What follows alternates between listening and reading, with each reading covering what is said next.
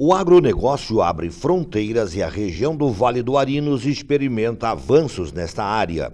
Joe Rezende fala dos problemas ambientais e da conscientização do empresário rural. Olha, hoje na Projetar Engenharia, é, na questão ambiental hoje é uma, uma área muito delicada, porque a gente pega aí produtores aí que estão há anos aí na terra produzindo, né, com desmates aí anterior a 2008, que são áreas consolidadas, é, e que tem a necessidade de estar se cadastrando no CAR, não só única e exclusivamente hoje pela questão de se regularizar ambientalmente, como para poder fazer um financiamento no banco, é exigido esse cadastro ambiental, como também para um abate no frigorífico hoje do seu gado, também tem a necessidade desse cadastro.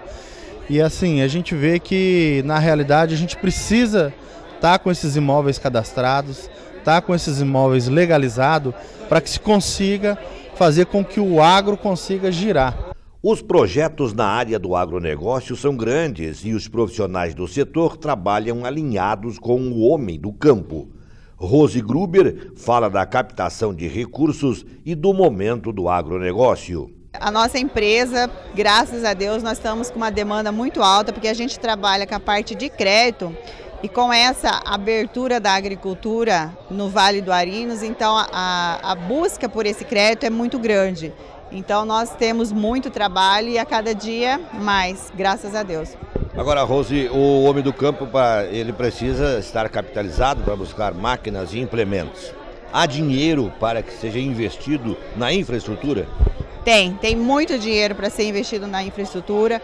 É, Existe várias linhas de crédito para essa estrutura da fazenda. Existe até no Banco do Brasil, eu cito ele porque é o que eu tenho conhecimento, uma, uma linha de consórcio para aquisição de propriedade. Então, não, não vai faltar recurso para ele se estruturar. Sempre a gente consegue colocar ele em alguma linha de crédito. E esse dinheiro não é muito caro, não? Não, hoje ele está girando em torno de 7 a 8% ao ano, a taxa de juro. A captação e distribuição de recursos são oriundos de bancos oficiais e dependem também do Fundo Constitucional do Centro-Oeste, o FCO. Mas há dinheiro sim para investimentos, explicou o gerente da agência do Banco do Brasil de Juara. Quando a gente fala em Banco do Brasil, não tem como a gente dissociar o produtor rural, né? O Banco do Brasil é o maior parceiro do produtor rural, né?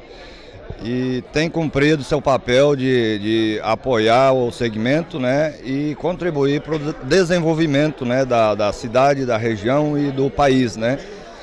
É, embora a gente tenha o, a linha do FCO, né, que, é, que é bastante demandada aqui no Mato Grosso, com recurso escasso para esse ano, né, é, nós temos outras linhas disponíveis né, para que o produtor consiga o financiamento, consiga melhorar o seu empreendimento, sua atividade, né, e consequentemente ter mais resultado e, e contribuir também aí para a produção que a gente precisa. Né.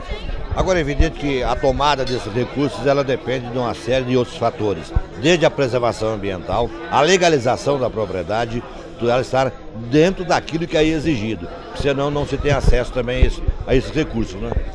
Com certeza, para o produtor ter acesso às linhas de crédito do banco, ter o incentivo do banco, né, ele precisa estar tá, uh, regular com seu imóvel, com seu, com seu empreendimento. Né? Se não tiver regular, realmente aí fica complicado ter o apoio do, do, do banco.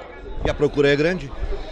Temos bastante procura, nós temos aqui em Joara uma carteira especializada para atender o segmento produtor rural, né? E estamos é, evoluindo bastante, fazendo bastante parcerias aí, apoiando bastante a produção aqui no município.